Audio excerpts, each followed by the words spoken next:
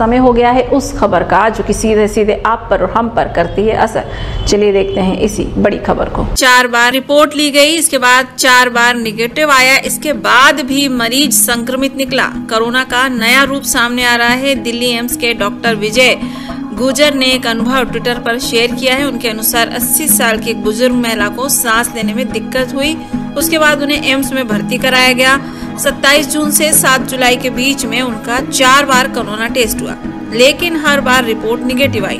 Doctor ने जब उनकी एंटीबॉडीज जाँच की तो बुज़ुर्ग के शरीर में एंटीबॉडीज डेवलप हो चुकी थी। इसी वजह से संक्रमित होने पर भी उनकी रिपोर्ट निगेटिव आ रही थी।